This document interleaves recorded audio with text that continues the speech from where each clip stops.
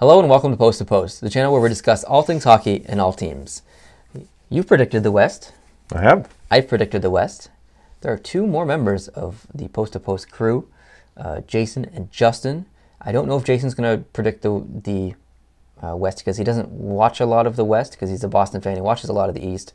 Uh, but Justin has ranked, or not ranked, has predicted the Western Conference for this year. So he's he's made a video, and uh, I'm excited to see who he picks. I haven't actually watched the video yet. I don't know who he picks. Um, but uh, Justin, take it away. Hey guys, me again. So I'm here today to go over my Western Conference predictions.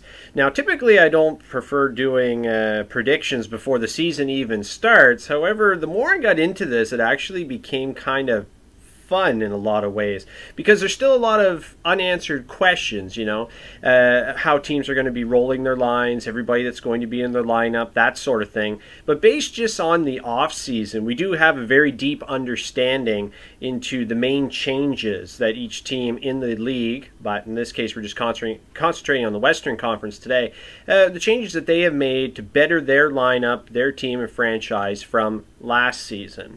So I'm going to start with the Central Division, and what I'm going to do is I'm going to pick or predict uh, from bottom all the way up to first in the division. Okay, so with the Central Division, I'm going to start with Colorado coming in last in the Central. Surprise, surprise. Uh, you know, Colorado, they started the season last year hot because if I remember correctly, Colorado was unbeaten in the preseason. Maybe I'm wrong on that, but it just popped in my head. I think Colorado was unbeaten last year in the preseason. But then as the season just kind of, you know, chugged along, Colorado just completely fell off the radar and, well, they had an abysmal, abysmal season. Um, you know, I, I see them doing a lot better this year. However, I don't see them actually, you know, competing for a playoff spot or anything like that uh, for the foreseeable future. And the whole Matt Duchene thing, that's just to me, that's hanging just such a negative vibe on the entire franchise, and it's kind of making Joe Sakic look bad too. I really wish he would deal Matt Duchene. Uh, he really deserves better than what he's getting in Colorado, unfortunately. And second last in that division, I have Minnesota. Ooh, maybe I'm going to get a little flack for that. Uh, I'd always like I always prefer to see Minnesota do well, just because I love seeing that damn jersey. Uh, you know that, as you know by watching this channel, that Minnesota Wild logo to me is the best logo in professional sports. I absolutely love that thing. And that's going to be one of my next jersey purchases without question. I need to definitely get one.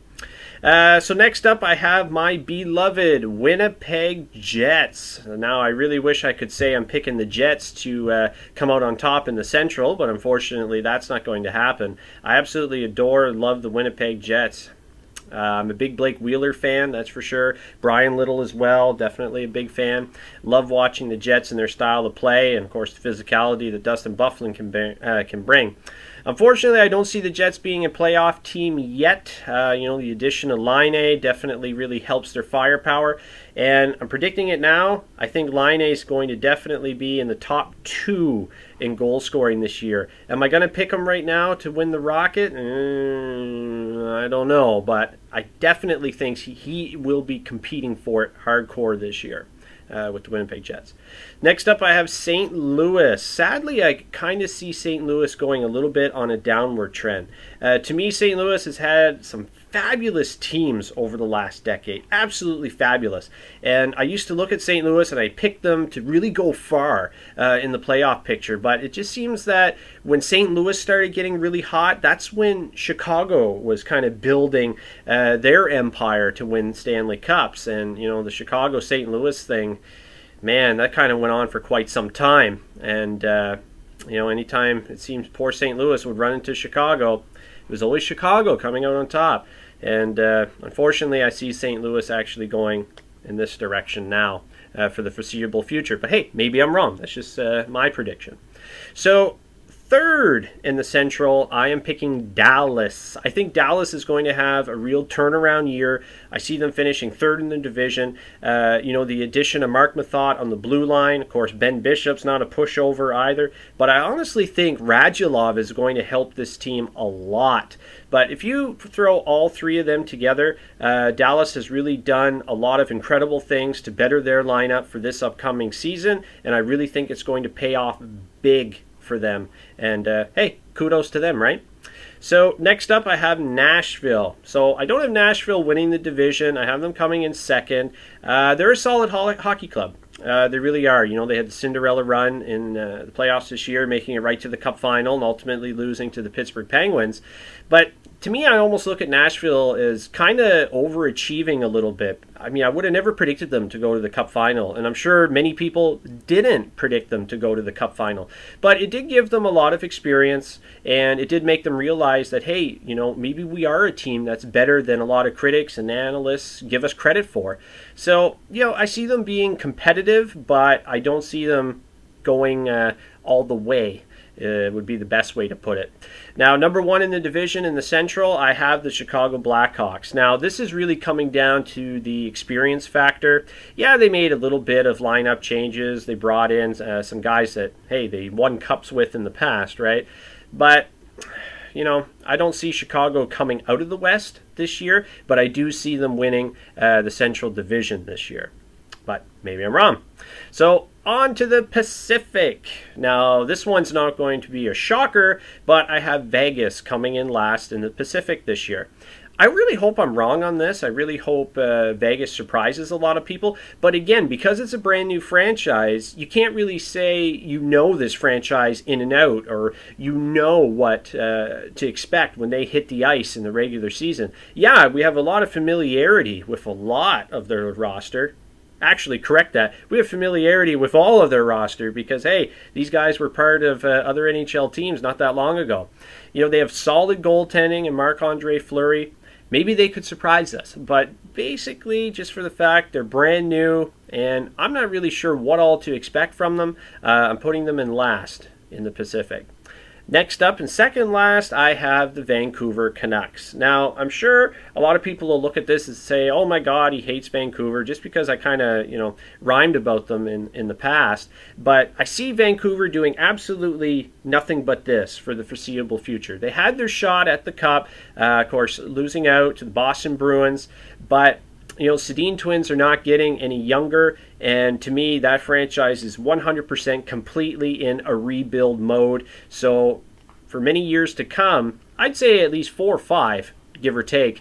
Uh, I don't see Vancouver doing anything in the Pacific Division, let alone uh, the Western Conference. Next up, I have San Jose. Uh, San Jose really had their shot in 20, uh, 2016 uh, losing out to the Pittsburgh Penguins, and sadly, I see San Jose kind of doing a, a, decline now. You know, Joe, Thor- Joe Thornton's not getting any younger. Uh, Patrick Marleau's best hockey, in my opinion, are, is behind him, and now Patrick Marleau's not even part of that organization. Uh, that was a bit of a big loss uh, to me if I look at the San Jose lineup. You know, Marleau being there, well, his whole career.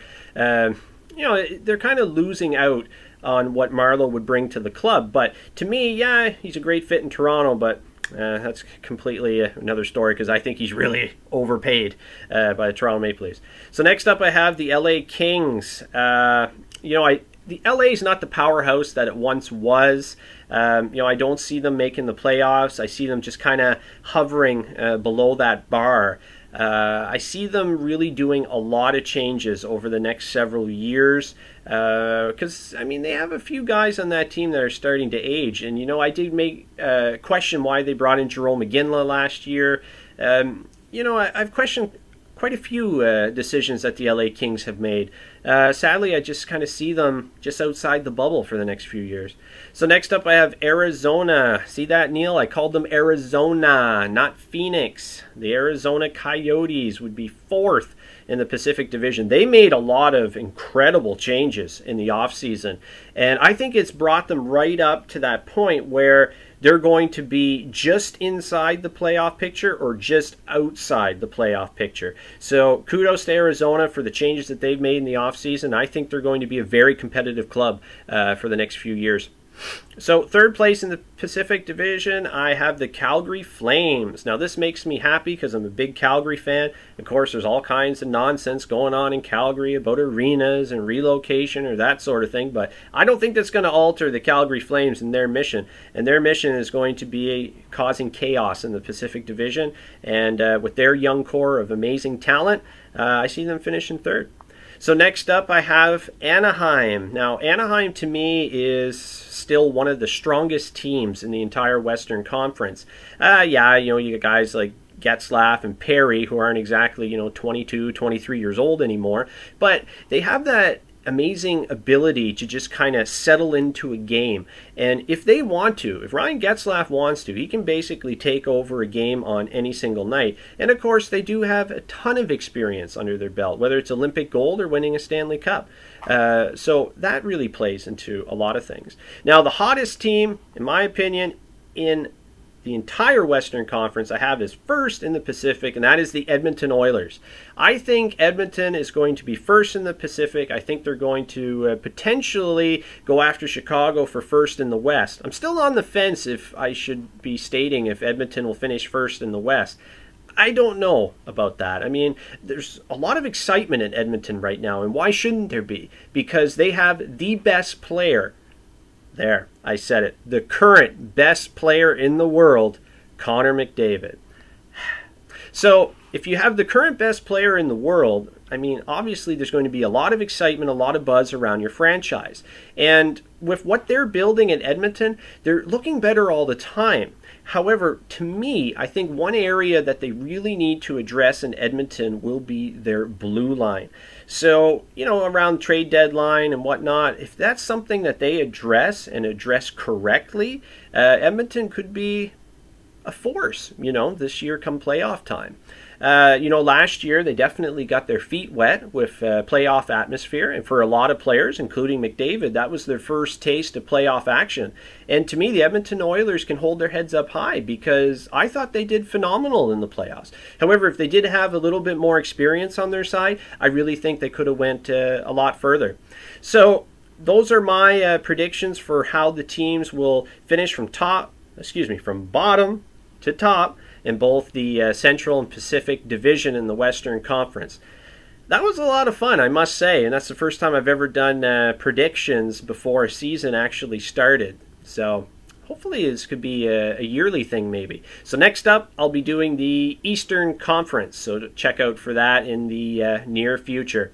Thanks for tuning in, guys, and I'll see you in the next video. All right, thank you, Justin, very much for doing that. Really appreciate it. You taking the time to do that and, and uh, reveal your predictions. Uh, it's going to be an interesting season, and it's going to be interesting to see who's closest with their predictions. I don't think any of us expect to be right, but we at least try it because it's fun. Yeah. So thank you guys very much for watching this video. If you liked it, hit the like button. If you're new to this channel, hit the subscribe button, and uh, we'll see you in the future. Adios.